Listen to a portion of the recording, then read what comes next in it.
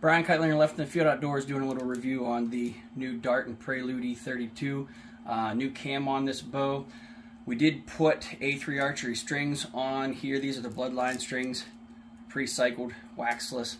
Um, they're pretty good. We're gonna see how fast this bow shoots with three arrows. We have a 311 grain 3D arrow we have a 420 hunting, uh, 420 grain hunting arrow, and then we have a almost 500 grain hunting arrow as well. All of these are Black Eagle arrows. We'll see how they go. All right, first arrow is the Black Eagle Challenger 3D arrow, 311 grains. Um, we're hoping to push into the 340s with this.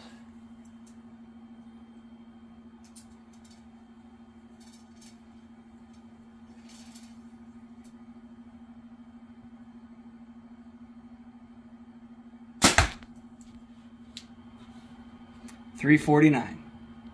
Okay, next we got the 420 grain Black Eagle Rampage.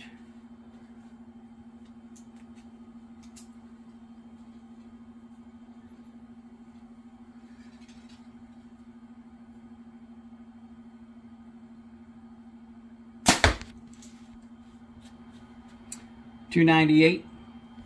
Okay, lastly we got the Black Eagle Spartan. It's almost 500 grains.